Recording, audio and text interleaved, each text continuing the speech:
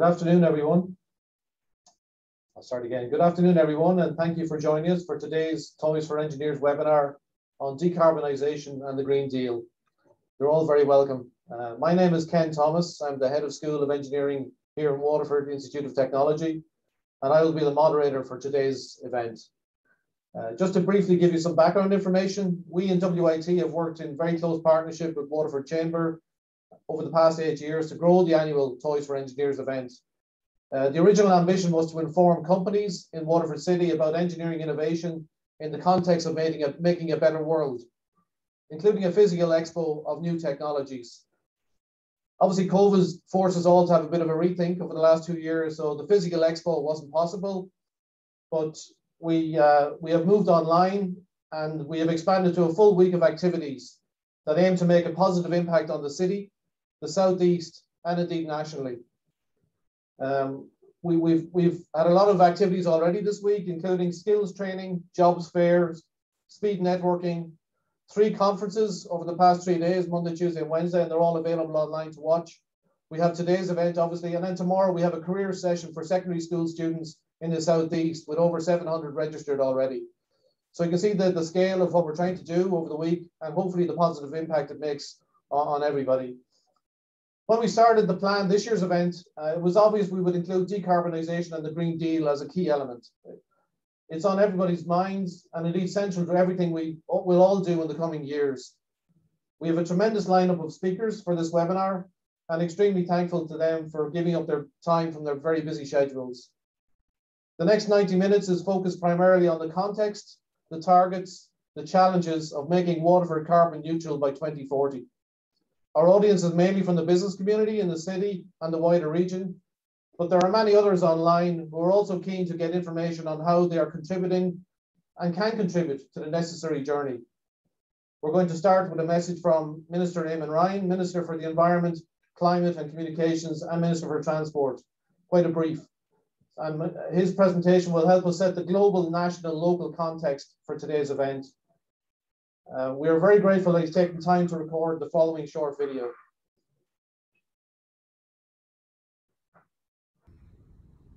Hello.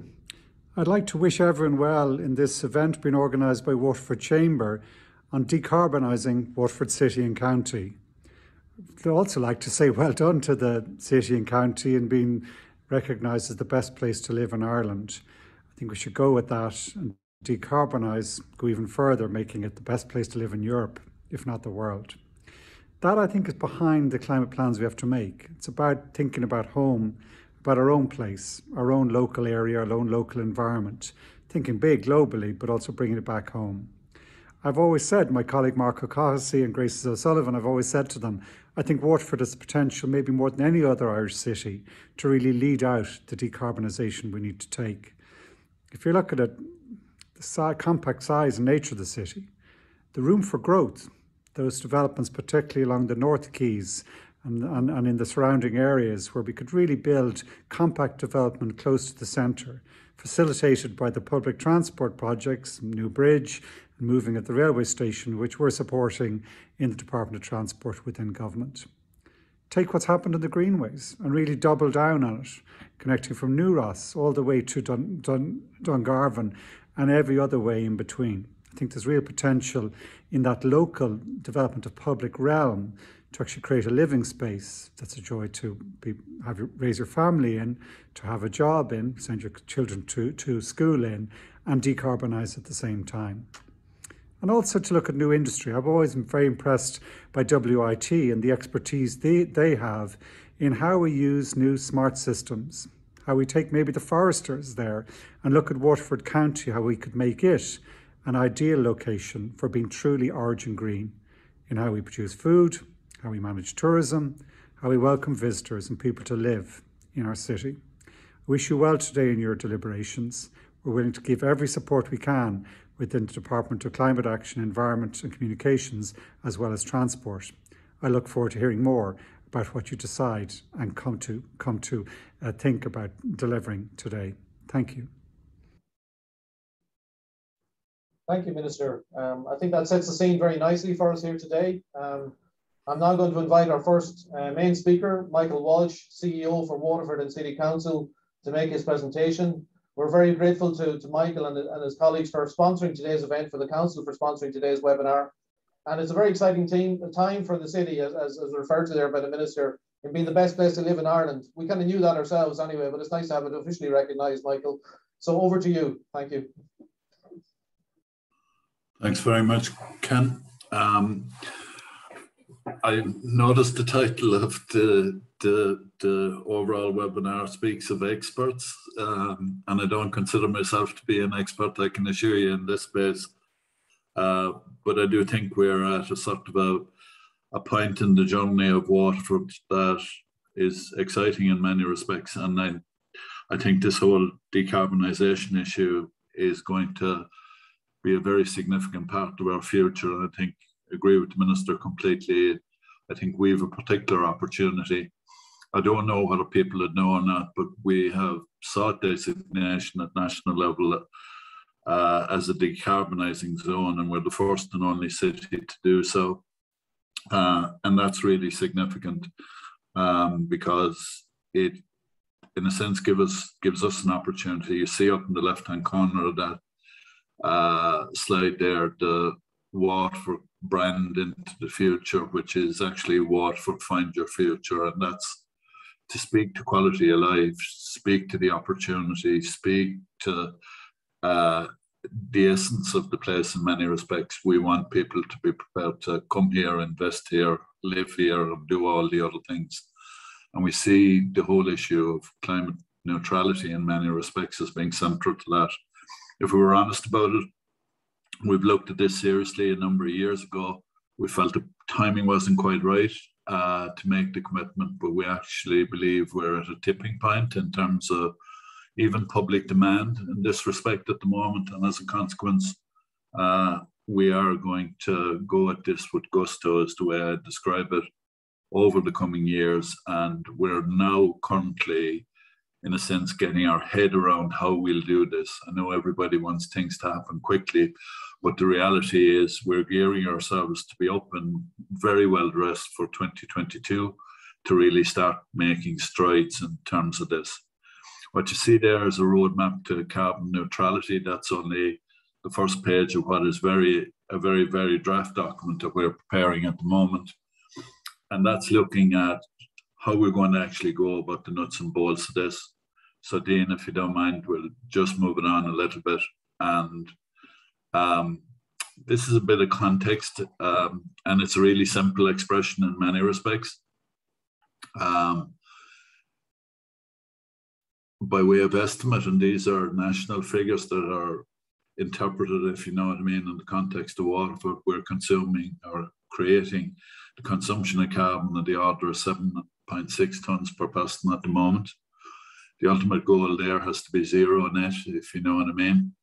Uh, we're saying there a target of three tons per person by 2030 is a realistic target, but um, that may not be ambitious enough or may be too ambitious. Um, there is an argument that we should be seeking net net zero in some respects by by 2030, and that's something we're we're currently sort of deliberating on, is the way I put it.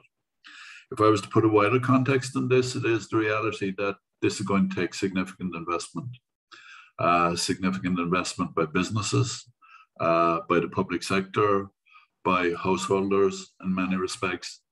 And one of the great challenges in it is going to be how that is going to be funded. There's a really significant part of it that ultimately is, is cost saving in its own right, direct cost saving in many respects, and then obviously environmental cost saving as well. So the great challenge in this whole question is how do we create this transition, give it engine, and how do we get people to join us on the journey? And this will be a really significant journey. Dean, if you can just.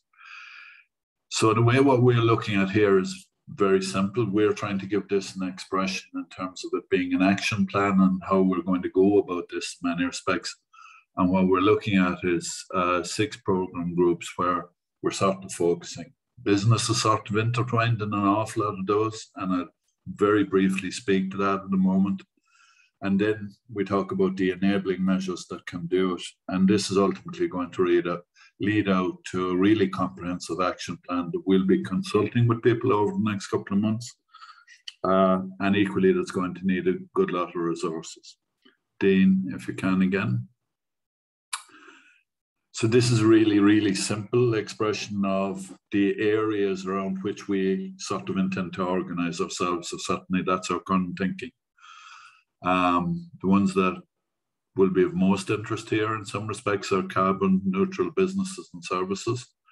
In fact, I go as far as saying I think the business sector is leading in this area at the moment in many respects. It is uh, an awful lot of businesses in terms of their branding and otherwise want the green badge, if you want to put it that way.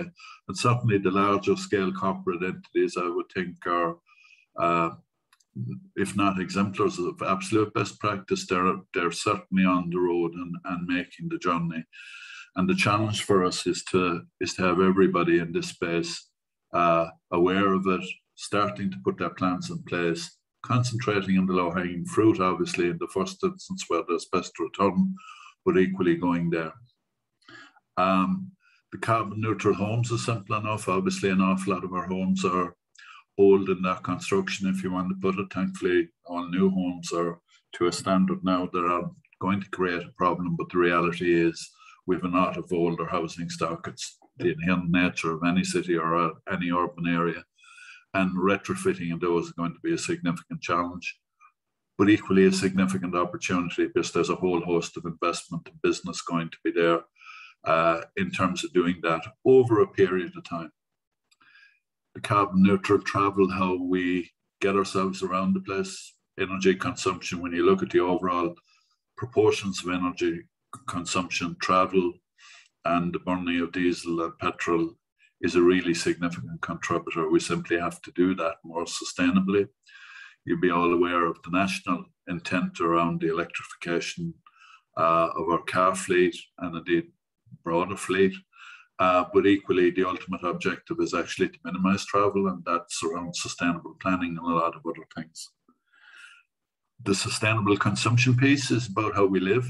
It's everything from what waste we generate, where we buy our food, every other thing in terms of our daily existence, how we do it, and otherwise. And I think, in a way, that reflects what in all of these is going to be a phenomenal um, behavioral change program that's going to be needed. And it's our objective, obviously, to help lead that behavioral change by not forcing ourselves on anybody, but a bit like a, the way I describe it, the vaccination or the the COVID program here in Ireland. It's about getting people on board, about them giving them information and they acknowledging the need to do this and that we join all together in terms of this journey together. You have experts here from the renewable energy fields. Uh, we're going to have to develop a lot more renewable energy sources locally. And then equally, we have to increase urban resilience. And that's about uh, making sure that we're adapting to climate change in terms of flood protection and otherwise. But equally, it speaks to sequestration and offsetting and making sure that we've sustainable living spaces, green areas, and everything else in our city. I think we're we're blessed in many respects with that as we speak. This is the big piece in many respects to give people context to the ambition because if we want to make all those things happen in all those areas, we simply have to have an engine to drive it. We probably need a center of excellence where we would be looking at having maybe 30 people leading out on this, uh, experts in their different areas, and particularly in these areas. And if I'm honest, Waterford City and Council don't have an awful lot of expertise. We have a few people, really good people, but a very limited number at the moment. And we need people in terms of the behavioral change pieces, citizen engagement that would be never like it was before, uh, finance experts, some engineers, I suppose, in many respects, given the title of this program, uh, but it's a wide range of skills that are need, need to come together to actually drive this out, to engage with the community and make things happen. That doesn't come without costs. We think two or three million a year will need to be spent. We'll certainly are engaging with national government. I think our council, once we rationalise it, will be prepared to uh, contribute something in terms of funding, of course. And equally, we'll be looking to Europe, and Grace will probably speak to a little bit of that, where there is it's certainly a major shift in funding towards uh, the just transition or towards the whole Green Deal scenario. Uh, and in a sense, there's opportunity there once we once we gather ourselves to do it. But it does need that real engine over the coming years and starting immediately in 2022 if we are to uh, really drive this project. It will need innovation. The likes of WIT will be core partners with us. The likes of uh, Waterford Chamber and all businesses will be reaching out to businesses to give them and deliver them services and expertise, uh, but equally to encourage them to join this, what we'd like to be a movement, to be honest about it, more than uh, a club or a, a, a thing. The real success here will become will only come with the buy-in of all our citizens, all our businesses, and otherwise that we become Team Waterford in many respects delivering this it won't be done easily. I've seen a figure, for example, of uh, this change requiring an investment of about 10,000 per head of population. In our terms, that's about 500 million. But that money is actually not uh, in any sense uh, that the individual needs to be doing it. They're investment decisions that businesses, that householders, that the public sector ourselves will all be contributing to. Uh, and that will require new approaches.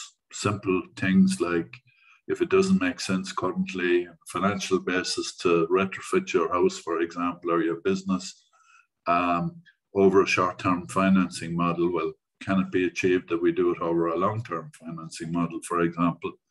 And there are going to be great challenges in that context, but there are equally great opportunities. There's a lot of capital in the world at the moment and in Ireland indeed. And the challenge is how we transition that capital into really effective outcomes for this overall program.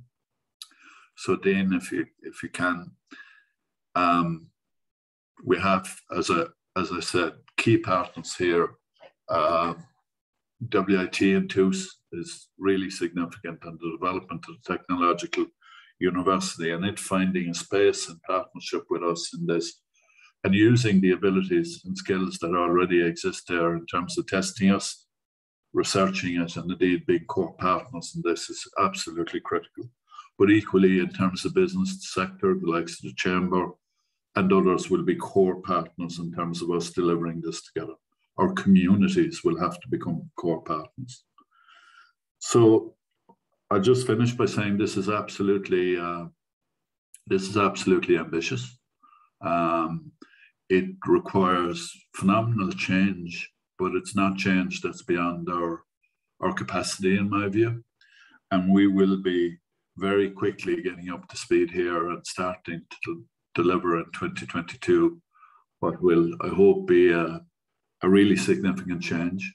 I think it will add significantly to Waterford's branding, prestige, self image, and otherwise. Why wouldn't we be the first to do this? Is the question I'd ask myself. And I think the answer is simple enough uh, in many respects. So we'd welcome all your assistance. We're very happy to debate and consult on this. It's a really significant uh, program and change that we're about to bring upon ourselves, if you want to put it in those terms. So we do need everybody's assistance, and we really, really uh, will appreciate over the coming months' input into this overall process. So, Ken, if that's okay, I'll leave it at that. Thank you.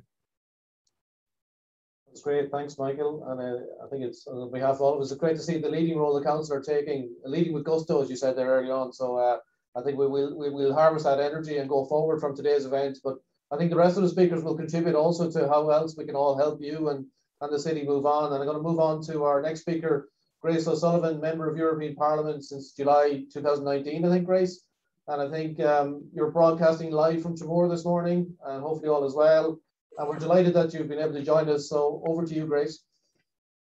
Uh, thank, thank you very much, uh, Ken, and it's great to be coming to you from Tramore. And um, I'm going to focus very much on the, the decarbonising of Waterford. And I'd like to start just by thanking Gerald Hurley and Linda Lawton and all at uh, Waterford Chamber for inviting me to this, what I consider a really important uh, webinar today. And I'd also um, uh, like to thank Michael Walsh uh, for his opening uh, presentation. And as usual, like Michael is, it takes that very um, pragmatic approach and um, and is so experienced. And Michael, you might say you're not an expert, but by God, you've certainly built up some expertise in your role uh, over the many, many years in uh, and leading Waterford Council.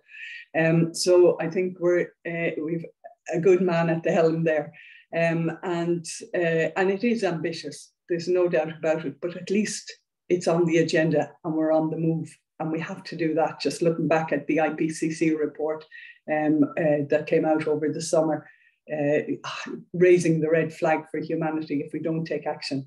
So when Waterford and County and City signed the, the EU Covenant of Mayors for Climate and Energy, they joined actually a network of thousands of local governments um, voluntarily committed to achieving and exceeding the EU climate and energy targets. So that's ambitious and, and it's good. And we're part of a, a big group now.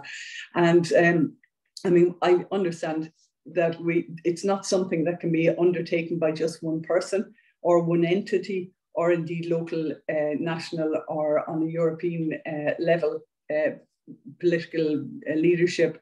It needs uh, an all hands on deck approach. There's no doubt about it, uh, from top to bottom and left to right. So we need definitely a huge collaborative approach in order um, to achieve this uh, uh, this uh, goal or this ambition.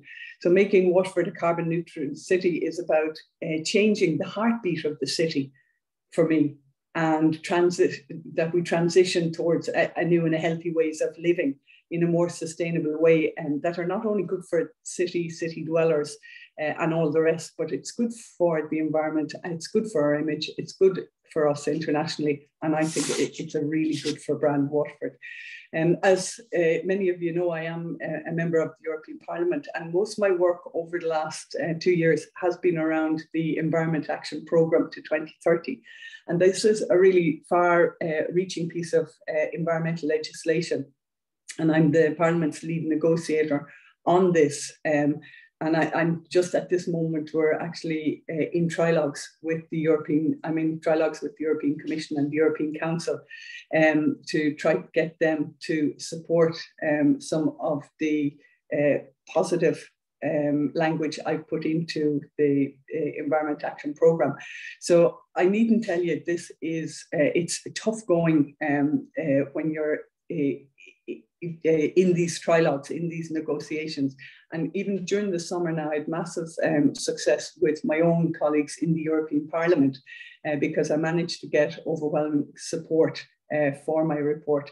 Uh, and that was a, a, good step. And the reason I'm mentioning that is that, you know, hard slogs pay off. Hard work pays off. That's my experience. Um, and uh, I'm certainly looking at Waterford Council and looking at the Chamber and yourselves in WIT, um, I mean, everyone's already, you know, uh, kind of excited about this. And uh, I think um, we're well up to it. So um, in Europe at the moment, it's all about the European Green Deal. So that was the um, massive strategy that the President Ursula von der Leyen announced uh, when she took up her position. And essentially every strategy is moving in the direction of the vision of the European Green Deal. So uh, everything is moving towards carbon neutrality by 2050. And 2030 is a really important road uh, uh, um, map because that's a, a, date, like that's a first major target date that we're working towards um, in order to get all environmental legislation pushing towards the, the uh, climate uh, neutrality. So there's no easy or quick way to transit the planet to a more sustainable future, but actually our lives depend on it. So throughout the world and throughout Waterford, decarbonising it is becoming a part of everyone's uh, way of life. And um, and only yesterday I had, uh, and I was delighted to speak at a brilliant uh, new initiative for, at Waterford Port, and that's where in conjunction with Irish Rail and XPO Logistics, a new uh, rail freight service was launched. And that service is now bringing goods by rail from Waterford to Ballina. And it's, um, it, it's a move that will see many heavy goods vehicles off the road. Uh, it'll save not only on fuel costs, but also on greenhouse gas emissions. So this kind of uh, positive example uh, is already putting us on the road towards carbon neutrality. So this, I believe, a can-do attitude goes a long way. And the message is simple. We can tackle climate change if we seriously tackle greenhouse gas emissions. So the overarching objective of the, the European Green Deal is for the EU to become the first climate neutral con continent, resulting in cleaner environment, more affordable energy, smarter transport, new jobs, and better way of life. Um, and it's fundamental that action happens, everyone on, on this, and Waterford leading. But Waterford's not the only one uh, on, the, uh, on this quest. So throughout uh, Europe, and this is really what I want to focus on, is we have exa- uh, excellent examples of initiatives in and around cities where transition towards carbon neutrality is already underway. So, for instance, in Valencia, or Valencia as they say, um, in Spain, it's uh, becoming the first fully integrated smart city. So their sustainable uh, urban mobility plan promotes sustainable urban mobility throughout the city.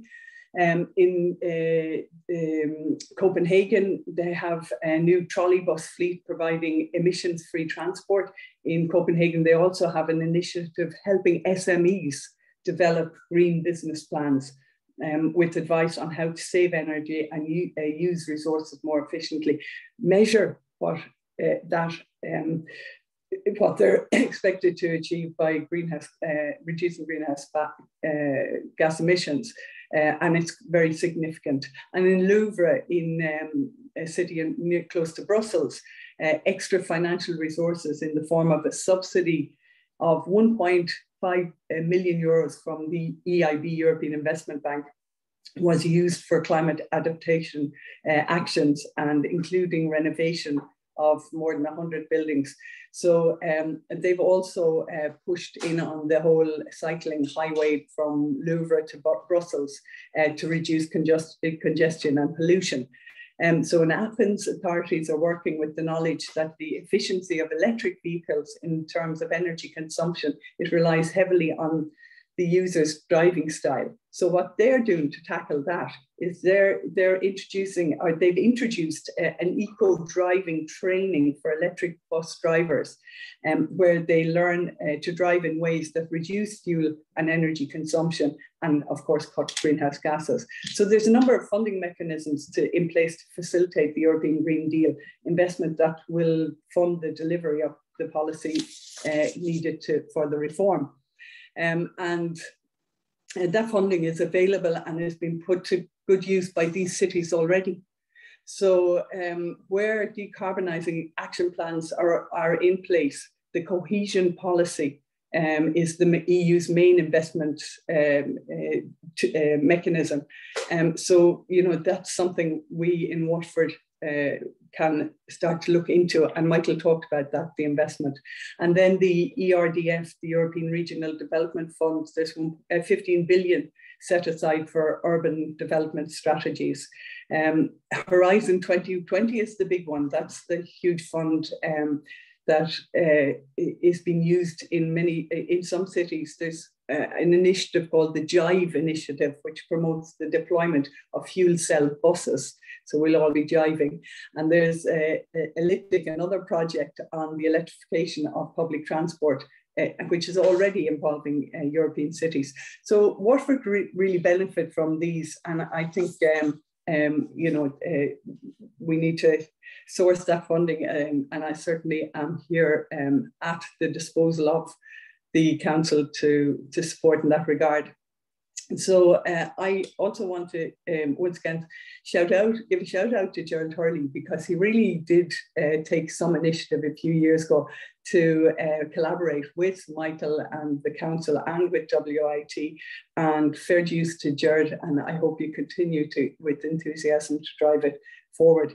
But it's all about buy-in around enterprise and innovation. It's about transport, it's about clean energy, it's about comfortable living, everything that Michael said, the consumption, uh, the whole lot. But for me, it's about thinking outside the box and also looking at what we have and what we can do better. So, I, and I agree with Michael in terms of the low-hanging fruit to get the momentum going. So, um, uh, it, and look, altogether, I believe it will give us a better city. In Waterford, we have significant infrastructure and di digital access. Uh, we've over 600,000 skilled workers within 60 minutes of the city. So I think the decarbonisation, um, you know, we have with the investors and with the skilled workers and uh, with the community, um, I think we can uh, do this.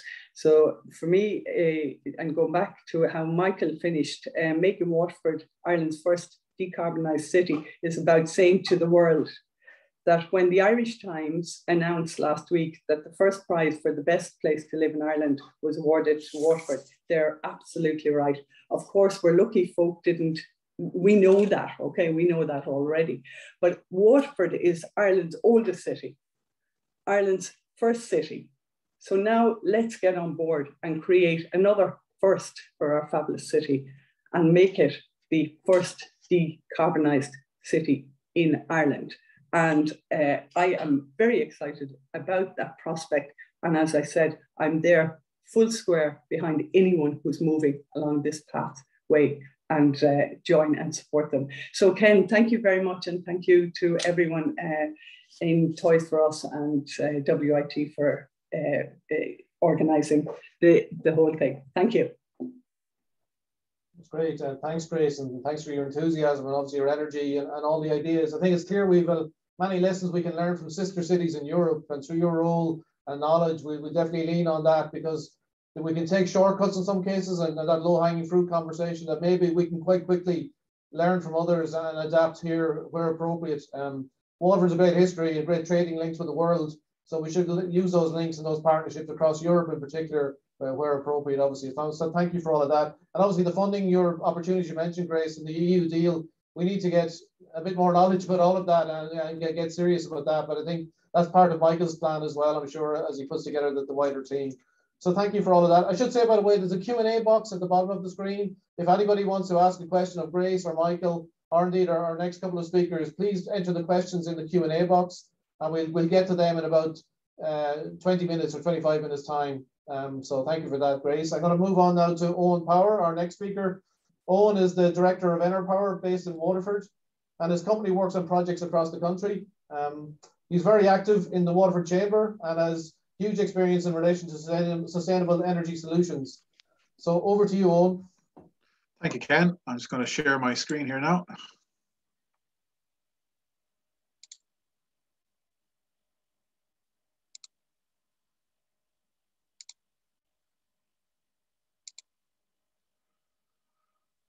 Okay, I hope everyone can see my screen.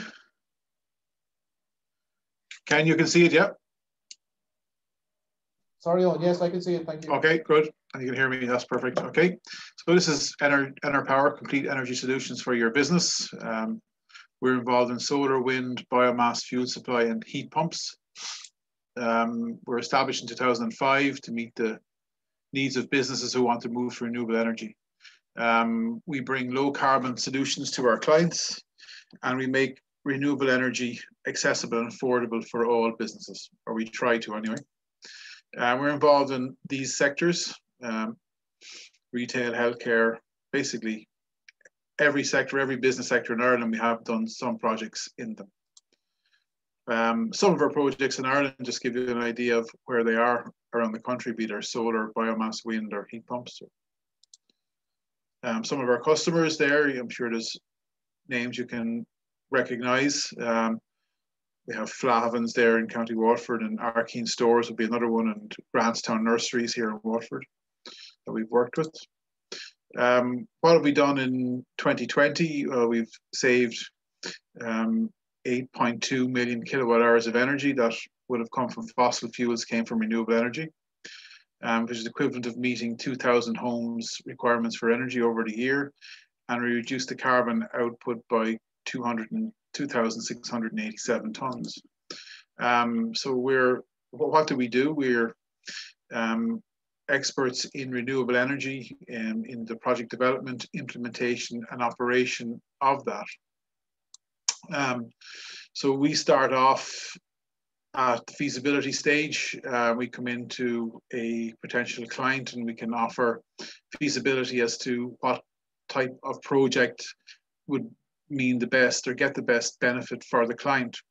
Um, when we decide on that, then we go to um, the design of the project, planning permission, grant applications if they're required, and then the supply and installation of the equipment, and then the operation of the equipment and the after sales service, including maintenance and that.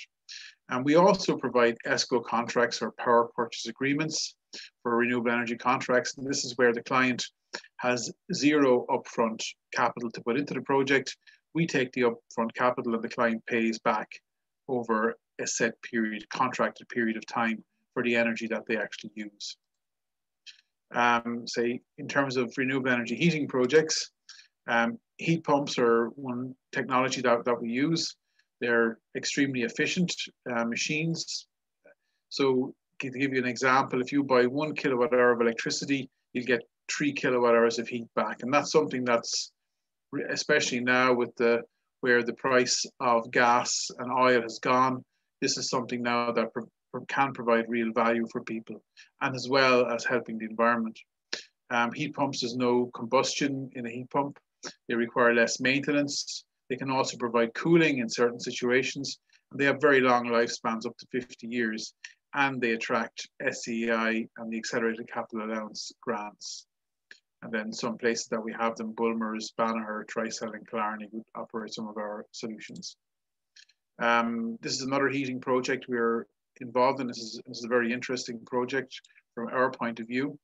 It's a South Dublin District Heating Scheme. And the idea of the scheme basically is to take excess heat from a data center here at the top of the screen and put that down through a district heating pipe network to Tallaght Institute of Technology and to the South Dublin County uh, Hall building. And the blue lines there are proposed extensions to that initiative. So this is something that is actually, we're actually on site there at the moment and most of this, the red line pipes are in place and we're now looking at building this heating center here to transfer the energy out of the data center and into the pipes and distributed then throughout the network. So it's um, 3,000 meters of pipe um, over is what will take the pipe or the project to be completed. Um, to give you just the, the basic principles of this idea. So the data center has heat out there at around 25 degrees. It needs to get rid of 25 degree heat. We take that heat and we put it into our two stage heat pump and we can basically um, raise that heat to 75, 70 to 85 degrees which is the required temperature we need in the actual network. So that's the basic principle of it. And this principle could be mirrored across any of the data centers in the country. And I think data centers are getting a lot of uh, publicity at the moment for being huge users of electricity. And this is one way where data centers could actually contribute something back. If, again, um, this um, project is part of a public-private partnership with South Dublin County Council, and that's the key to it, is the public-private partnership here. Without the council's involvement in this, this certainly wouldn't be possible. Um, and here's some pictures of the actual pipes now in the ground in Dublin at present. This runs down the Belgard Road in Dublin. Um, so it's Ireland's first large-scale district heating and cooling network. It's publicly owned by Dublin City Council um, or South Dublin Council, um, up to 1.5 million uh, kilograms of CO2 emissions will be eliminated per year, um, and up to four megawatts of total energy output the existing heat source, and enough heat available for more than 5,000 households. Initial connection to the education and government buildings, and hopefully we'll be able to expand this. And obviously, hoping to expand that model from, to different other data centers around the country, which we know there's quite a few of them and more in the planning. Um, another area we're involved in would be biomass boilers. which is using wood, uh, which is a carbon neutral resource. So this is um, a leisure centre in Thurles, which we, we work with Thurles County Council on that. And again, it's another public-private partnership in conjunction with Thurles County Council and Enerpower, where we went in, we put a boiler in and they pay basically for kilowatt hours of heat that they actually use. And they're saving money every year in doing that. Um, this is CJ Sheeran, it's a, one of the largest biomass boilers in the country. And this company actually has two of these boilers, one in their Mount Rat facility and one in their facility in Ballinrobe in Galway. So again, huge, um, this company was using oil for the process and now they've moved completely over to wood.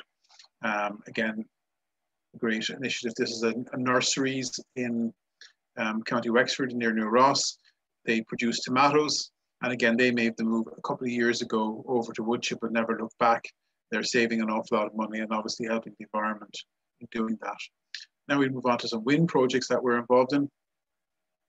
Um, this is our Tesco distribution centre in Donabate in Dublin. And it's a one megawatt wind turbine in there, and that, that helps displace between 20 and 25% of the energy requirements of that building. So that's um, a significant proportion of the energy. Everyone can see this turbine is located in a car park. So it just shows you that turbines are not all for up in the mountains. They can actually go um, closer to buildings. And this one of the unique things about this is, I suppose, it's right beside the energy is generated exactly where it's needed. So there's no distribution losses. So everything that's generated here gets straight into the into that building. Um, Flahavans here in County Waterford put up a wind turbine um, there a number of years ago very successful again, 20 to 25% of their renewable energy. And I'll come in a slide in a few minutes. We've also see Flahavans there have installed solar panels as well in conjunction with wind. But I'll come to that slide, a separate slide. This is a larger project now in Kepak, and meat factory in Watergrass Hill. Two megawatt wind turbine we installed. Again, it's going to generate about 4 million kilowatt hours per year on that site. This site is unique in that we installed a 350,000 litre water tank with this, um, with, with, this project because at certain times in the day and during the site during their production cycle, they won't be able to use all the power generated by the wind turbine. So we installed this hot water tank to soak up that energy. So that water tank has five 200 kilowatt immersion heaters. So we can basically put one megawatt of power into that tank at any one time if we need to and we can see the control. It's a complicated enough control mechanism mechanism to control this tank. We need to mix the water to make sure that we have a homogeneous solution in the tank, that we have the same temperature all the way up through the tank, and we maximize the amount of energy that we can put into this tank. And we can see there, when this snapshot was taken, we had 73 degrees in the tank for 350,000 liters of water. So that was a significant amount of energy that otherwise wouldn't have been able to be used, but can go straight back into this tank. Um, Kepak are unique in that they actually have a, a requirement for a huge amount of water in their process. I think this is the only one of this type in the country that uses this type of technology to store energy like this. Um, now we move on to solar panels. Um, and we have a number of slides there on solar panels, typical case studies there. Um, we would do a design up like this, and we have a couple of um, modeling softwares that we use. Um, and we use the half hour data that the site would use, how much, how many kilowatt hours they're using on an hourly basis. And we would use that to size what size of solar system would be suitable for their particular situation.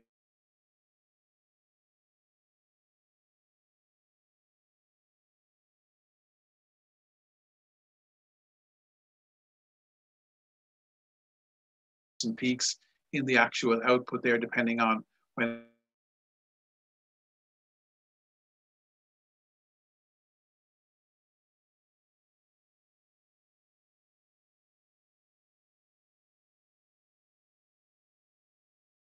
rate of return would be and what the payment um, payback period is for the project. So each customer would need to see that before they can, or this information helps them to make a decision um, in that regard. Um, these are some other jobs that we've done around the country. Virgin Media, for one of their data centers in Dublin, have put solar panels on the roof. Again, this is um, Flahavans out in Kilmacthomas here in Waterford. And John Flahavan put up a wind turbine and then he went and put up solar panels. And solar and wind um, oppose each other. Generally, when we have wind, we don't have much um, sun. And when we have a lot of sun and good weather, we don't have much wind. So they do work um, nicely together and complement each other nicely. Um, Keen Shopping Centre here in Waterford, another good initiative there, 120, 100, 100 kilowatts there of solar on the roof. The only thing you, you, you, can't actually see it when you drive into the into the supermarket there. It's on the opposite side to the car park, but um, it's there all right. Um, this is Lidl, the project we worked on with Lidl, which was the largest rooftop solar when it was built at the time in their new distribution centre in Kildare. Um, then that was um, superseded by Sam Dennigan, which put up a 1.5 megawatt system there. Sam Dennigan is a, um, a fresh fruit and veg supplier, um, mainly into the Dunnes Stores group. Um, now this is um, Eli Lilly. Um, this is now the largest um, solar installation in Southern Ireland.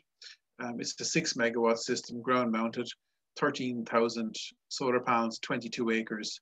And um, this is the start off of the project where we installed the piles into the ground to support the frames that take the solar panels. The machine that drives in the solar panels is, or drives in the piles, actually the pile driving machine is on the left-hand side of the screen there. So that goes around 22 acres, driving in all these 8,000 piles need to be put into the ground. And this is what it looks like today. It's completed and generating 6 million kilowatt hours a year of electricity and it's going straight into the Eli Lilly facility there in down in Kinsale. And again, we're generating electricity at the point of where it's used. Uh, another nice initiative, this is the maintenance team arriving on site. So we were able to get sheep to go into the 22 acres to help keep the grass down rather than using chemicals or anything like that.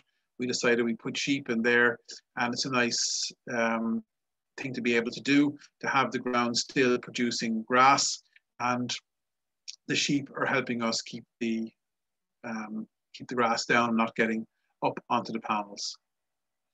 Um, why solar? Um, obviously, increasing energy costs. And I think everyone in business is aware at the moment that over the last couple of months, energy prices have really gone scarily high due to a number of different factors.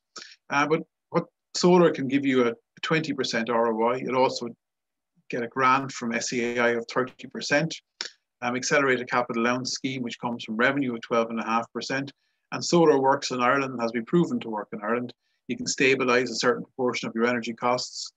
You can reduce your carbon, meet your environmental targets. Every roof um, in Ireland basically can, nearly every roof, I'd say about 99% of them, can accommodate solar panels. It's very low maintenance. There's a 12 year warranty on the solar panels themselves, and it's extremely reliable in that there's no moving parts in solar panels. It's just electricity moving around. Um, what are the first steps? I suppose um, the initial assessment to see where, where the site is, um, looking at the electricity invoices that a company would have and what their half hour electrical load data looks like, site visit, agree a design, submit the applications, uh, get planning permission and get your grant, and then um, installation and commissioning and operation.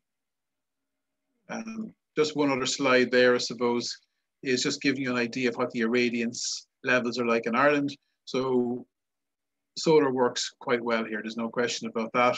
And we have, you know, even certain parts of the country down on the south coast work extremely well. A lot of light. Um, service and maintenance package Enerpower are able to support everything that we install. So that's part of our commitment when we get involved with a client is um, we're there to see the project out to its end of life. Uh, we remotely monitor all these systems and we provide routine maintenance. And Enerpower now, we started in 2005, we now employ 31 people. We have 360 sustainable projects completed, um, 125 million kilowatt hours generated from renewable energy, and 41 million kilowatt hours, or kilograms, excuse me, of CO2 saved over that period. So that's um, that's what Enerpower are doing at the moment. Thank you. Thanks, Owen. Uh, that's great. And uh, a lot of detail there, but it's some phenomenal numbers. I mean, it is, as an engineer, we like numbers anyway, but it does come down to numbers and making real progress against that carbon challenge. So, so thanks to you for that presentation today. And I go, I'm sure there'll be a few questions later on, on for you as well, and indeed the others uh, in relation to, to some of those projects. Um, I'm particularly taken by the South Dublin public-private partnership uh, model, which is something that maybe Waterford can think about as well. So thanks for that. Um, so as Michael and Grace indicated earlier, the scale and nature of what's required to decarbonise the city is very significant. But uh, again, Enerpower and other specialists are key to helping making that happen. I suppose that's the key message. Our next speaker is also a specialist.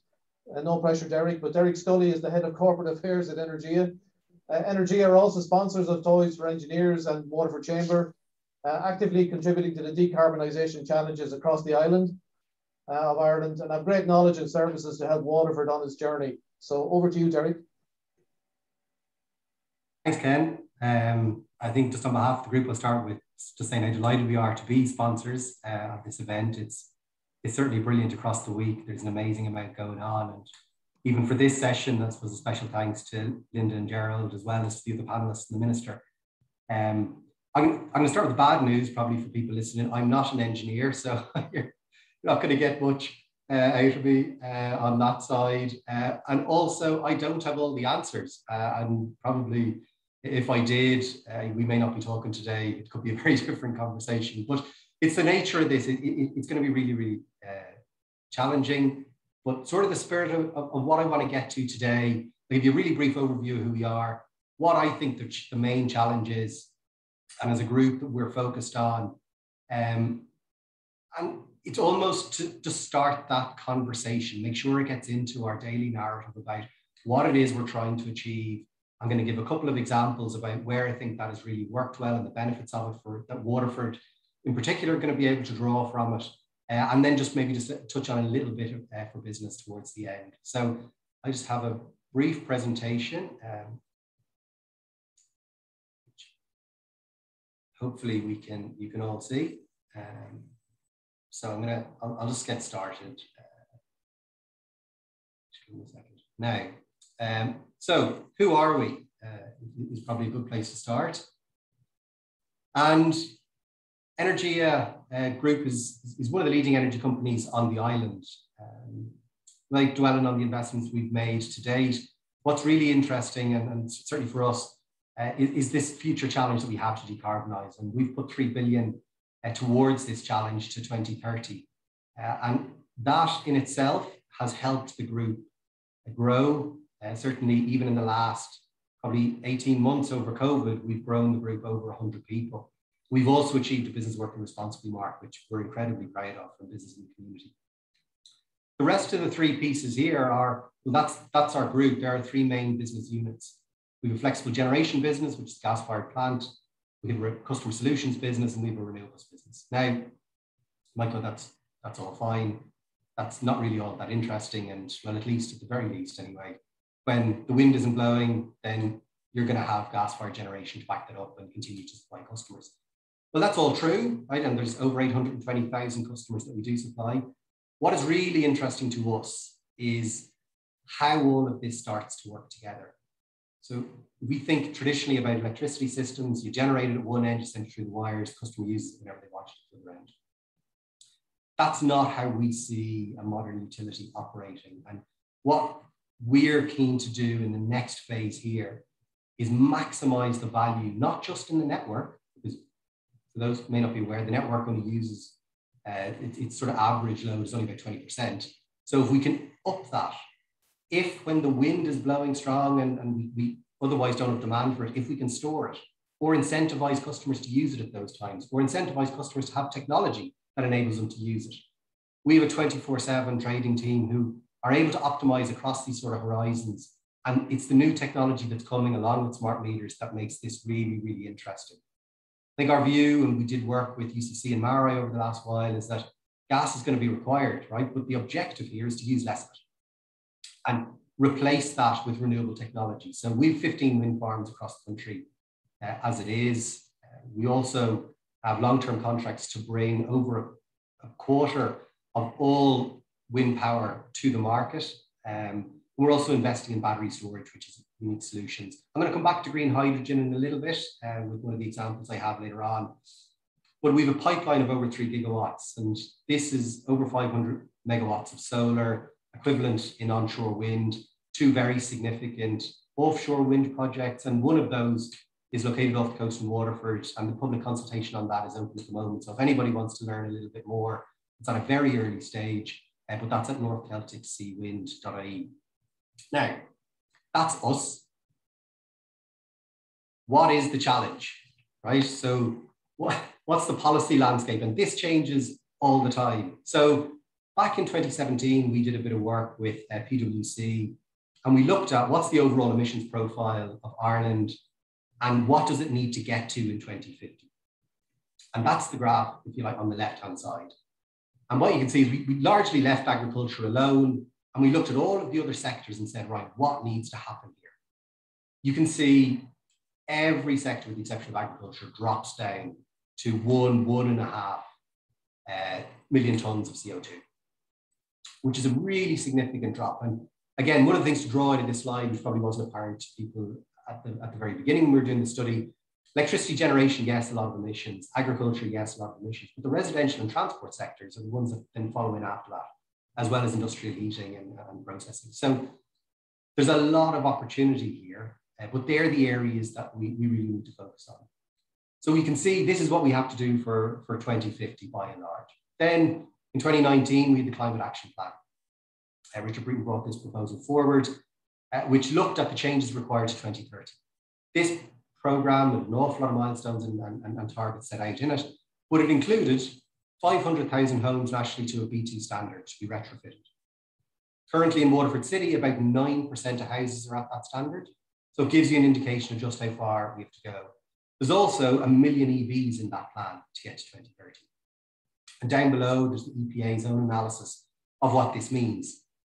The orange line is, well, if not an awful lot, uh, changes between now and 2030. The blue line is if we implement the measures, the additional measures that are in the climate action plan. So you can see we go from about 60 million tonnes down to target in the climate action plan was in around 45 million tonnes. For, following on, more policy, then we, the program for government came out, the program really ambitious, put the green recovery at the core of our economic recovery from COVID. Really, really important statement and a lot of commitments in there, which we get to uh, in, a minute. Then, as Grace has already mentioned, we the IPCC report, right? The first time scientifically stated, you know what, guys, it's partly our fault. So the good news in that is that if we caused it, we can fix it. And I think the other really strong message out of this is that if we don't act urgently and we don't take really radical steps in the next 12 years, we will have already run out of the road that we have. We will have a one and a half to 2% change in climate in just 12 years. Whereas in fact, that's the object, the overall objective uh, of, of COP26 coming up and, and obviously the Paris Agreement uh, out, out to 2050. So really urgent action required. Then we had our own report, uh, Met Éireann did a report along with the Marine Institute and EPA. And if anybody was in any doubt, 15 of the last 20 of the 20 warmest years on record are since 1990. We've had 6% more rain on average since 1990. Uh, greenhouse gas emissions are up. We've, particularly perhaps relevance to Waterford, since 1990, there's been a six to nine centimeter increase in sea level. Right? This, this is alarming, really, really alarming. Um, and overall, we have a temperature increase in the last 120 years of about uh, a degree right? So it's clear a whole load of things need to change here. And back at, at the sea level, not only have we seen a rise, but we've seen an increase in acidity, but also in surface temperature. So lots of problems, right? So part of the good news is the technology exists to, to fix them. The policy, as Grace has already said, then came from the EU and the Green Deal, a 55% emission reduction um, relative to 1990 to 2030, along with a whole load of measures new energy efficiency, new renewable packages, financing, whole load of change. And then most recently, uh, we've had uh, the minister bring forward the Climate Action Low Carbon Development Act. Hugely significant piece of legislation in Ireland, going to drop emissions relative to 2018, not like the EU study or the 5055, not relative to 1990, but relative to 2018, we now have to have a 7% annual reduction or in effect halve our emissions to 2030. I'm not going to change these slides too much, but now the green line shows you we need to get to 30 million tons in 10 years. The measures, the million EVs, the 500,000 homes to be retrofitted to a B2 level gave us 3.5% of a reduction per annum. It was based on, on, on that to provide a 25% overall savings to 2030. We're now on a trajectory to do 7% per annum and achieve, say, a halving of our emissions uh, in just that short space of time. So, huge challenge. Why then, what does this in effect mean for business? Well, you can we can all look at this and go, oh, that means we're going to have to do X, Y, and Z. But I actually don't have, I'm not going to, don't really have the money available. We're coming through a really bad time, and this is the same for households as well. But I think that's possibly the wrong way to look at it. The way to look at it is everything's going to change anyway. Okay, so if I go back to, uh, and Owen's already mentioned it, customers and consumers are changing their attitudes to what they want to buy. They're looking at labels. They want to see sustainability at the core of businesses and how they operate. But central to all of this is that banks are starting to do it. And it's no coincidence. Obviously, Commissioner McGuinness is, is in this role now. But if you want to get a mortgage in the future, you'll have more favorable rates if it's green. If your home's green, if you want to get money in to operate in the future to make an investment in the business, it'll be cheaper if it's green. If you want to go out and sell a business, there'll be a premium because you're green. So there's a whole load of carrot and stick out there. And I think what's important, maybe just to draw, draw from it, we don't want to focus on the cost. Right? The, the cost to me is the wrong metric. It's the investment. And the difference is the investment brings about a change and you avoid a whole load of other costs that you otherwise would have had to pay for being a non-climate compliant company. So investment becomes critical way to look at this. So don't look at the huge amount that you have to put in. In fact, the companies Owen's worked with and the companies we work with are really good examples of this. They've looked at it and gone, actually, what's the proposition here? What's my return if I do this relative to if I don't do it? as opposed to just how much is it going to cost me. I've picked two port country uh, areas, and I'm going to I'll be quick on these, um, partly because I have some experience of both of them. Uh, back in uh, 1999, I had the fortune living in Bergen in Norway for a year. Uh, this, I think, if, if we're going to put it in some sort of context, was still about 10 years before any of us had an iPhone. And so if we want to know the pace at which things can change, there's a really good uh, example. But at the time, the city in Bergen had congestion charging, right? You, to drive into the city, you needed to pay. Uh, it had already about 80% of its electricity, of its heating demand came from electricity. Now, today, about 90% of the new cars bought in Norway are electric vehicles or hybrids. Only 10% of what are being bought of new cars are ICs or internal combustion engines. About 90% of their heating is coming from electricity. Part of this is because they have quite extreme seasons and they need to have really well insulated homes, but it shows there's a lead in time for all of this. And in many ways, if we start thinking and talking about the small measures that we can see around us, it makes us more open to accelerate that change and take further steps into the future. So I think really, really important. And on top of all of that, through their use of renewables, they have much lower electricity prices. So Bergen's a really good example about. You, place where we've been doing it for a long time, it can really, really speed up as you as uh, as new technology comes to the fore, people are more willing to adopt. In Belfast, we have our own experience in Belfast around hydrogen. So a number of years ago, we started talking to TransLink about hydrogen buses in the city. There's now hydrogen buses going around the city. We're just at the final end of commissioning a hydrogen refueling station and green hydrogen is going to come from our Long Mountain wind farm to power those buses, right?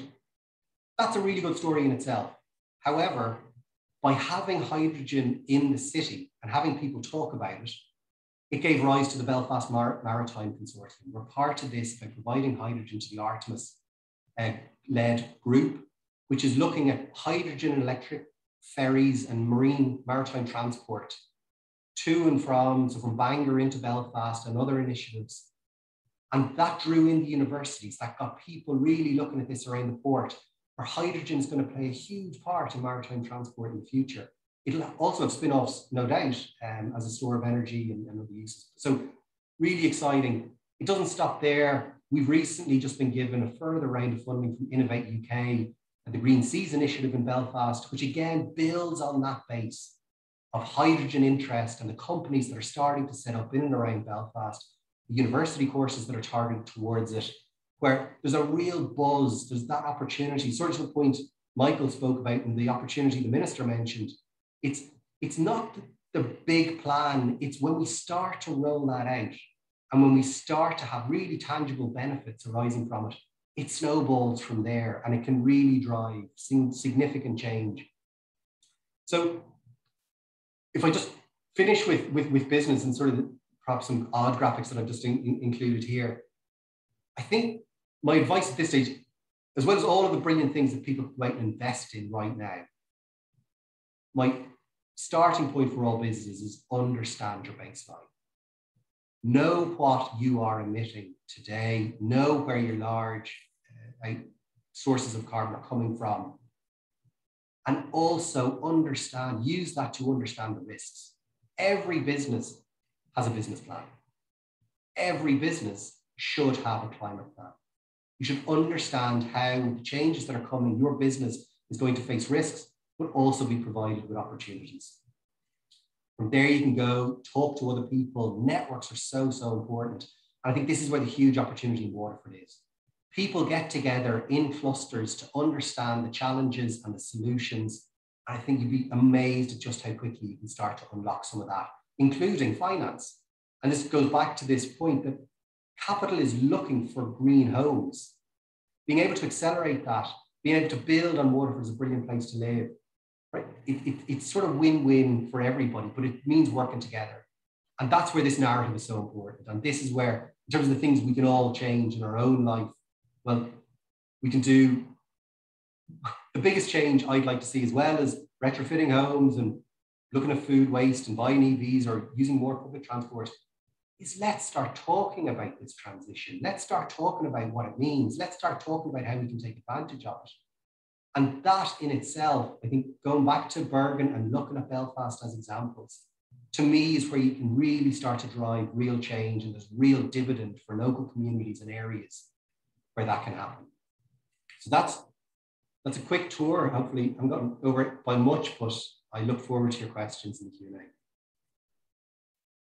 Thanks, Derek. That's great. And again, uh, I think the policy landscape was very interesting. But yeah, the examples of Bergen and Belfast are very well made. And I think we can learn a lot of lessons from, from those cities in Waterford.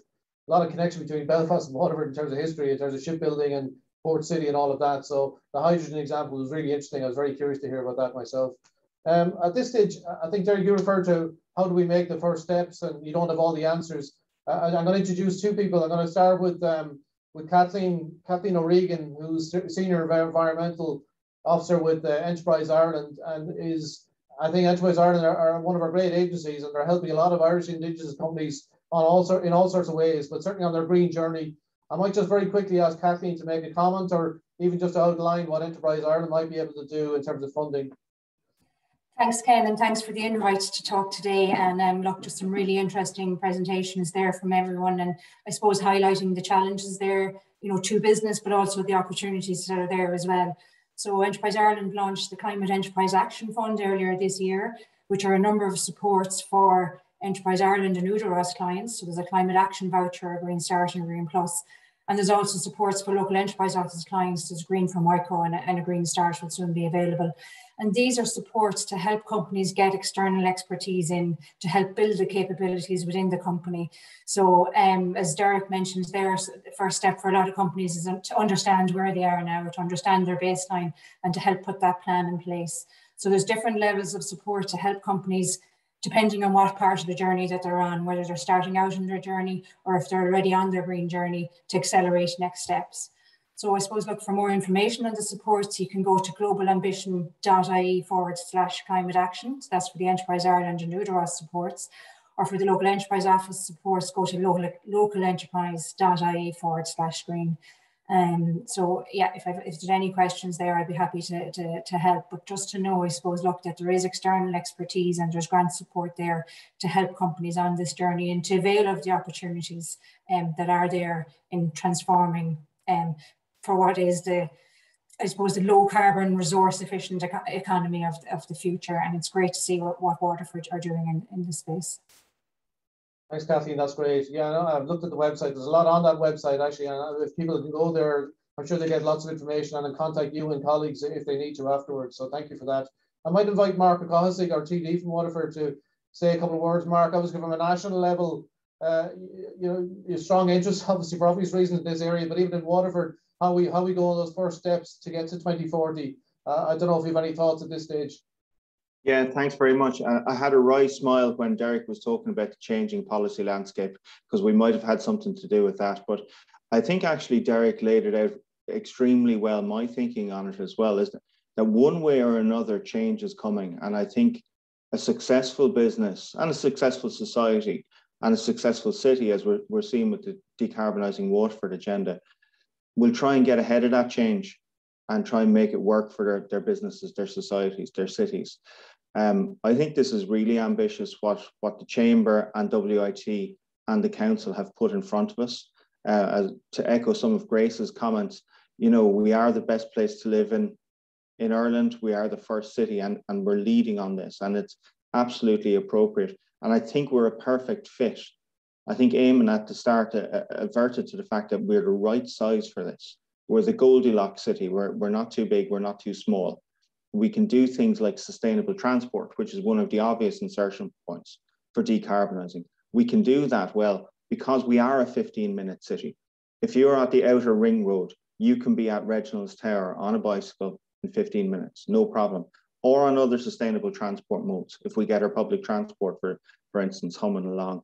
Um, Owen kind of adverted to the fact that we have fantastic sustainable energy resources and particularly solar, um, which we can really turn our hand to also wind resources off of our coast.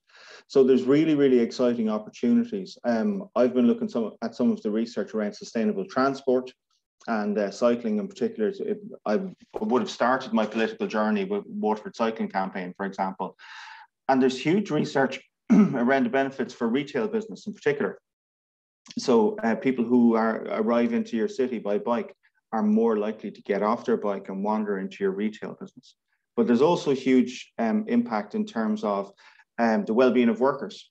So it's known that people who commute to work by bike, and this it's Dutch figures would follow through on this, they they're likely to miss fewer days at work and be more productive while they're at work. Now, what employer doesn't want that for their workers?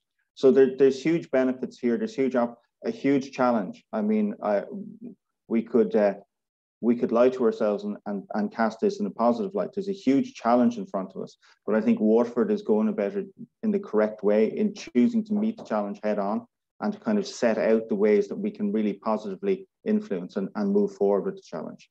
Somebody coming into my office there in the background, but the, that's the joys of Zoom. It wasn't a child, at least, which is the usual thing we see on the telly. Mark, thanks for that. That's great. And uh, we're well used to all, all sorts of interruptions over the last 18 months uh, in our background. So thank you uh, I might just come, uh, we, we had a couple of questions that I think Owen dealt with directly. So thanks Owen for those about uh, his particular company. I might just ask, go back to Michael. I know Michael's under pressure to go to another meeting. Michael, you, obviously you're working on the roadmap. We all want to help. What's the next steps or how, how do we help get this roadmap to a, a final version? And what's the timeline for that? Um, the timeline is the next two or three months. Um, um, my starting point, our start collective starting point as council are going to consider this. Um, we have a session next week where we'll be discussing it with the elected council. Uh, we'll be going to public consultation reasonably immediately thereafter. Uh, and really, we're just looking for input. Like I say, we're not, there's nothing cut, cast in stone in any respect here. In fact, I think it's very important that we view it as never being cast in stone because the reality is we're going to learn as we go here. We don't know everything. That's that's for certain, if you know what I mean. And this is going to be have to be adapted based on experience as we go along. The key issue from my point of view is from the start next year to get resources in place, get all the stakeholders involved, engaged. That's one of the reasons we'd be talking here. And we will be taking certain actions. I was very interested there to hear Derek, for example, saying, you know, the first thing for a business to do is look at their baseline. We're going to actually communicate and create templates and seek to provide simple training methods and otherwise for people to do some of that so that we kill some of the the explanation and uh, and help in the learning path to that. Some of it is not that complex, and if we can start with the simple stuff, that's just the awareness. What am I using? How am I doing it? Could I do it a little bit differently? There's elements that you'll get a return on if you do it differently immediately. Let's start with that low hanging fruit, if you know what I mean. But you can expect, I would think, that if we can put this together, that every single business in Waterford will be communicated with uh, uh, next year with a view to establishing those baselines. And ultimately, we want to collect that data as well because all of this needs to be data and research based and evidence based in terms of uh, how we do it. Uh, so that'll be part of our challenge is build that baseline, not just for the individual entities, but for the um, the the collected entity that is Waterford City. That's great, Michael. Yeah, I mean, I think it's nobody has all the answers again, but I, I think uh, lots of positive enthusiasm here from everybody involved, and uh, it's it's great to see that. Uh, I think obviously it's also a moving target. Uh, I, read Project 2040 on a regular basis, Michael. I look at 85,000 people in Waterford by 2040, 19 years away. So even the size of the city and the nature of the city will change and evolve over the next 19 years. So you're right, the roadmap has got to be flexible enough to cope with that development also. It's not just a static city by any means, you know. So, so thanks for that. Uh, got, just there's a question in here from Susan, Susan Gallagher, uh, works with a colleague here in WIT about the whole impact on education and graduates. And obviously from an engineering point of view, we're very well aware of technology and the engineering role, but uh, really this cuts across probably every every graduate that is coming from WIT and the new university. So I might just ask uh, Grace very quickly. I know Grace, you're under pressure as well. Do you have any thoughts on graduate attributes or skills of graduates coming from the new universities in relation to this green agenda?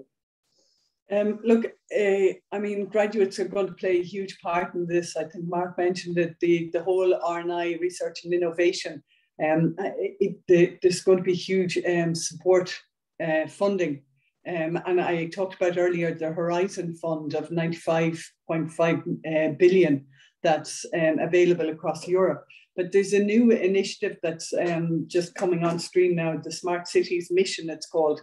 And it's kind of um, a race for um, cities, 100 cities in Europe to become um, uh, carbon neutral and that. So I think that's something we can pull in on. But I think that the role of uh, the, the graduates and the role of WIT and CIT and all of the learning institutes from bottom down to top up um, have uh, have something uh, really have something that they contribute and I think now um, like it, you know the fact decarbonizing Waterford is on the agenda climate change is on the agenda so a few years ago, the challenge was that people weren't uh, waking up, weren't aware to the uh, ecological crisis we're in.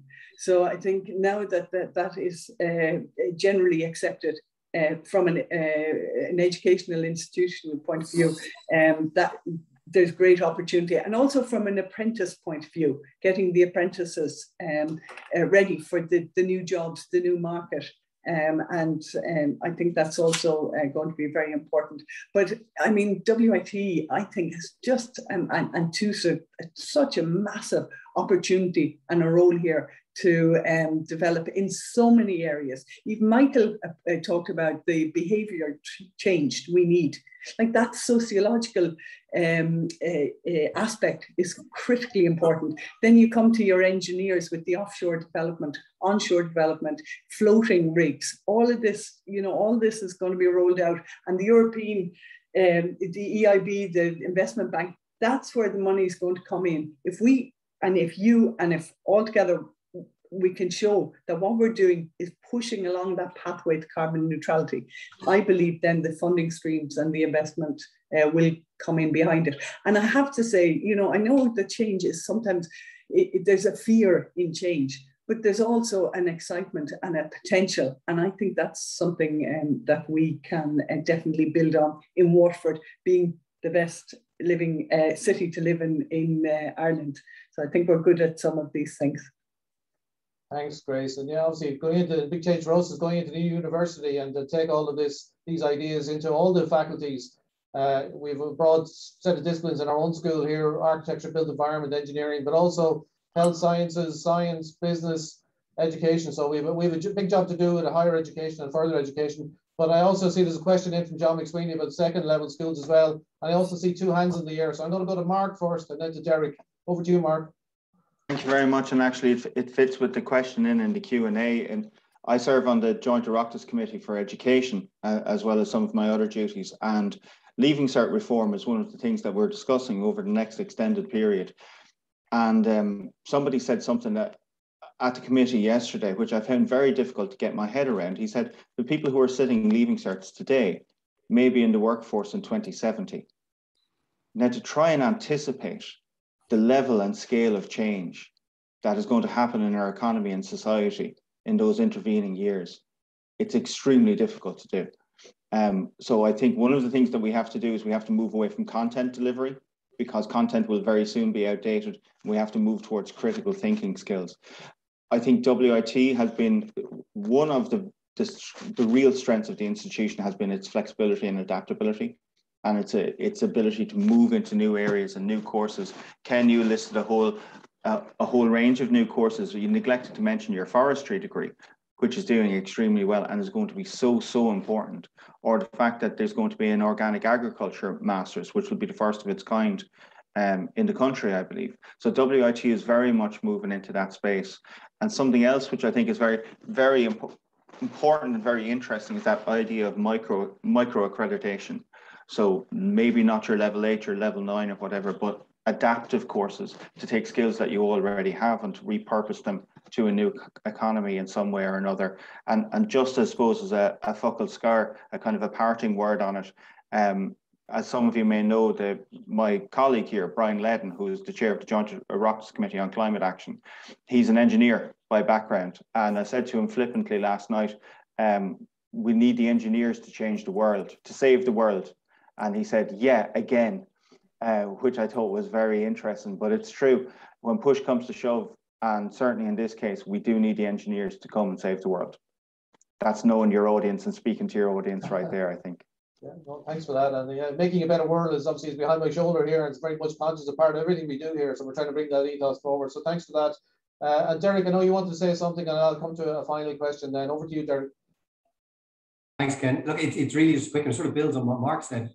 Whatever by 2070, if we're looking at the business today and we obviously focus a lot on 2030, the graduates we're going to be taking in in 2030 are starting their second cycle this in school now, right? If we want the right skills to be there, we need to start bringing in an education around the climate and what we're trying to achieve at that early stage to get people interested. Because when we get to university, it's all that it's all too easy. I mean, I think there's been huge strides forward. But for me, if I'm looking at what we need in 2030, we're going to need people that are really, really clever with data because data is going to drive our entire economy, how we use things in a smart way. We, in furtherance of that, you need people to start looking at systems as opposed to looking at an electric, electrical engineer looking at one particular area, mechanical engineer looking at another. Actually, we need to start bringing all of that together. We need to really, and chemical engineers, obviously with hydrogen and everything else is coming in, we need to really start to understand full systems and how we can maximize the use of them. And through all of that, we need collaboration because as much as engineers can do, if we don't have comms people, if we don't have technical people who can actually do the work, if we don't have social and behavioral scientists who can drive the change, we're going to be stuck. So this, a bit like the scale of the change we want to achieve in carbon, we need to achieve that sort of change the entire way across our economy. across society. And I think the opportunities that come out of it for young people are just amazing. And certainly I know from talking to our own graduates and placement students this year, there is no generation more excited about working for a green company or trying to achieve the sort of change we're set out on. So why wouldn't we give them a really key and driving role in achieving it? Yeah, I mean, everything you said there is great. It's asking big questions also in education, how we educate anybody, to be honest. Uh, there's so many things we could go at, but I think that transversal skills as well as independent discipline skills are really a big challenge for all of us across architecture, built environment, engineering, and again, all the people generally everywhere has to buy into this, this vision, and that's part of the TU challenge. Michael, I know you're under pressure with time. Did you want to say something quickly before you left? Yeah, um, thanks, Ken. The, Look, um, I think I see a, a, question there from John around engaging with students and younger people. That's going to be one of the big challenges that we're going to have to figure out here.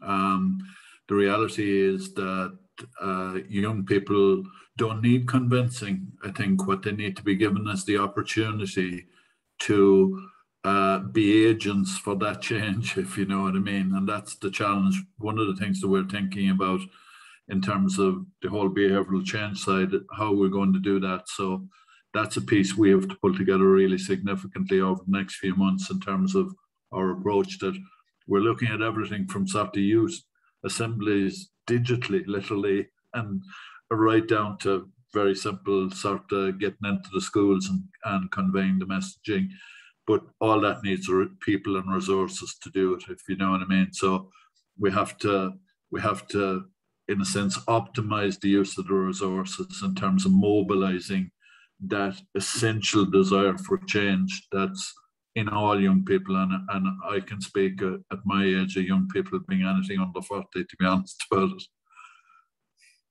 Great, Michael. Yeah, no, thank you. And again, we have a big event tomorrow with over 700 students registered they're typically going only 50, 14, 15, 16, that sort of territory. So we need to bring them along and making a better world. Absolutely, very conscious of that. Another idea we have here in WIT is, and again, more is online, more Henry as well, in terms of making the city a living lab. So basically, very simply, every project and every every everything we everything we do in WIT and educating and training our people could be focused on city problems. And really, you could actually have a dovetail there between the new university and solving or helping to solve maybe some of the problems that the city have and challenges. So we're very anxious to get involved in that, Michael. Thanks very much.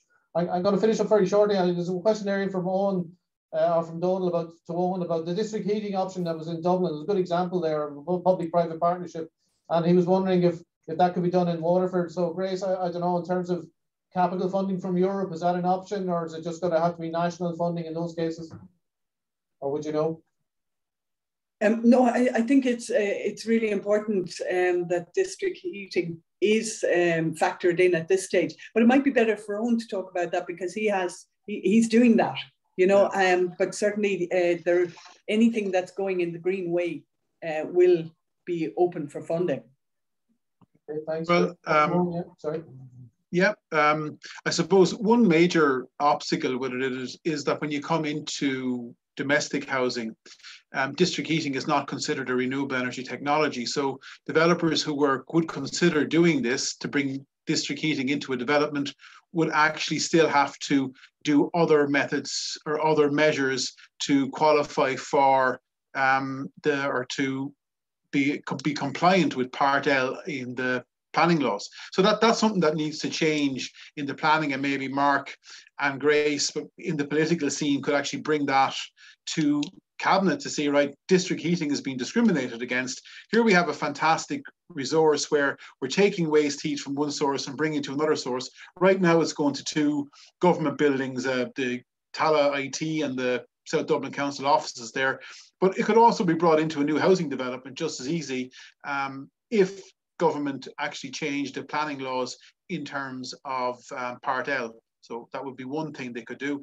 And yes, planning, um, you would get funding for that through Better Energy Communities would be one scheme you could do it. But as I said at the outset, these types of district heating schemes are public-private partnerships. They will not work without the council and government's involvement because they're too large, infrastructural, there's too many places. If you look at the number, like we had to drive two kilometres of pipe down the Belgard Road in Dublin unless you had council absolutely behind that, this would have taken 20 years to happen, you know, so that's a critical part of it. But as these data centers get built, and I know data centers are in everyone's mind at the moment because they're being blamed for using all electricity, because a huge amount of energy being lost in these data centers that can be captured using this technology. And, and the example, we have an example now in South Dublin there, where that could be mirrored across the country to the other data centers that we have. Thanks, Owen. Thanks very much. Uh, uh, we're under pressure with time. We're just gone, gone over time, actually. So I'm going to try and wrap up. But before I finish, Nuala just asked a very nice question, a good question about um, behavioural change in relation to retail, clothing and textile waste and so on. So I think Michael in his road plan mentioned six different sectors within the city. And obviously that includes the retail sector, Nuala. So I would expect that the, the roadmap for the city will, will, will hit everybody, will include everybody. That's the plan. Grace, you got your hand up there. You might want to add to that. Yeah, just really quickly. I mean, it's it's about ecosystems thinking really, and systemic thinking, and that web of think of, of over, you know, of how we plan. So, I mean, for me, it's thinking about everything I do, carbon. Uh, so I'm thinking climate mitigation, climate adaptation, zero pollution, biodiversity protection, production and consumption, circular economy, and that pulls everything that we do. And I absolutely agree with Nuala. I mean, fast fashion is a huge problem at the moment, you know. So, so there's there's there's loads for us to do, which for me is exciting and it's the challenge. But I think Michael pointed out his list, but that's my list. So every time you know something we're talking looking at new policies directing policy then they're the kind of uh, criteria that i look at in order to guide me. Thanks grace. Yeah i mean it's daunting in some respects trying when you get into the levels and the detail and so on but having said that the enthusiasm here today we, we should make the first steps and, and, and go for what we can and, and work in a coherent way. So at this stage i think we might bring the whole webinar to a close. As I said, we could probably talk for hours about the topic, but hopefully it advanced the journey to decarbonising Waterford. Um, the ambition is to make this a reality by 2040, but uh, it would require a huge collective and coordinated approach. I think that's clear from today's event as well, uh, led by the City Council with active participation by obviously the new university, the business community, and indeed the citizens who live in, live in the city and rely on the city. Uh, so big, big challenge, but a big collective effort to, to make all this happen. As the Minister pointed out at the start, we're of a size and a nature and a compactness, I suppose, that we have a great opportunity here in Waterford. So we're, we're, we're uniquely placed in that respect. And I think we're all looking forward to doing it in a way that makes Waterford an even better place to live. I know we've won this award or we've been recognized as a, a great place to live, but it could be even better. And let's, let's, let's be ambitious to make it even better than what it is at the moment. So I'm going to just finish up by saying thank you to lots of people. First of all, a sincere thanks to our speakers today, to Michael, to Grace, to Owen, to Derek, to Kathleen and Mark. Thank you so much for all your contributions. Very much appreciated. A big thank you to our sponsors for today, which is Waterford City and County Council and the overall Toys for Engineers sponsor, Energia, who also obviously sponsored the Waterford Chamber. So very much appreciated. And that all helps. These are very important to uh, keeping everything going in, in our world. Uh, we'd like to thank everyone who's helped the development and delivery of Toys for Engineers over the last eight years, including Enterprise Ireland, the IDA, Waterford Enterprise Office, uh, Waterford Chamber Skillnet, Cobotics, Red Hat, Engineering the Southeast, Crystal Valley Tech and CalMast. And I hope I haven't left anybody out because we've had so much help and continue to have a lot of help from a lot of people and organizations. Also, obviously like to thank and congratulate the fantastic Waterford Chamber team of Gerald, Linda, Michael, Avril.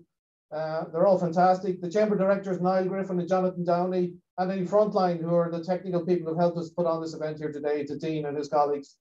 Uh, it takes a huge collective effort to get toys for engineers up and running each year, but it's having a very positive impact, we think, on, on the city and the, and the region and indeed nationally, and hopefully contributing to making a better world. So finally, I'd like to thank all of you who've uh, attended today's session. Your participation is very much appreciated and the event will be uploaded later for those who want to watch it again, or perhaps interested colleagues who couldn't make it today. At least, you know, hopefully you can share it with colleagues and get them also inspired and interested in this journey that we're all on.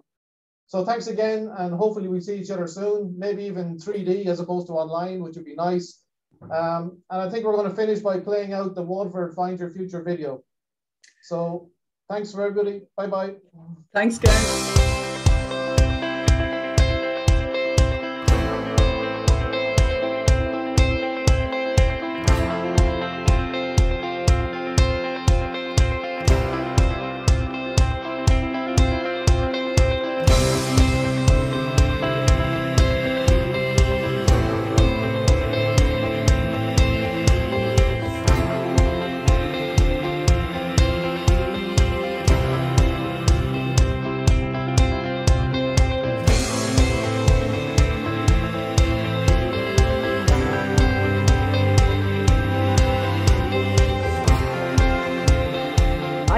Word cluster is very, very important because that signifies to anybody that's looking to come to the Southeast that there are other opportunities for them. There's over 100, I believe, tech companies at the moment based within Waterford and in the Southeast region. That as well as a wonderful quality of life, the fact that there were so many opportunities and so many different global companies within Waterford that people could move around.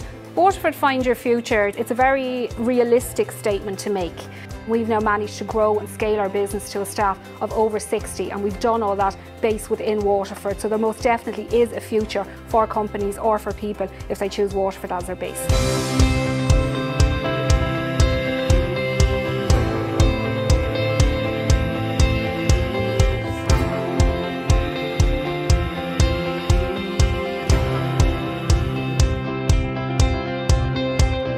you know, there's so much here. Like it's, you know, I feel very fortunate to be living here. Tremendous support. We've great staff, all local, um, and it's just. Uh, yeah, it's just it's a great spot to live. So I was born and bred here and uh, lived um, uh, in a lot of places around the world, but uh, was fortunate to get to come back to Waterford.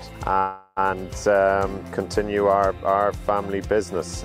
It's a fantastic place to live. You know, you're, you're, we're four miles from the sea. You've Tramore, Dunmore, you've the Comeragh Mountains.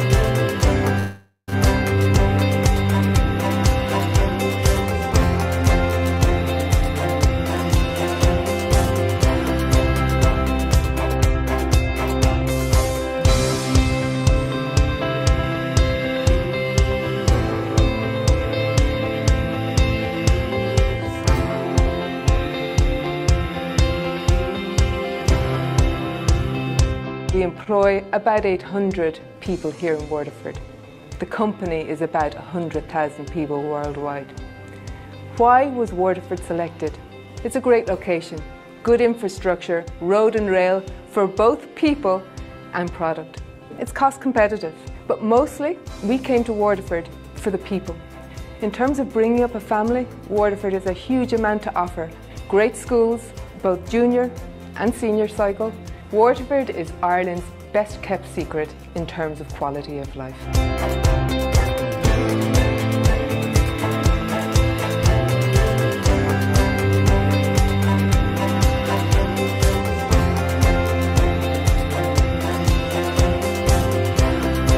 Waterford has certainly been a pivotal part of the company's success.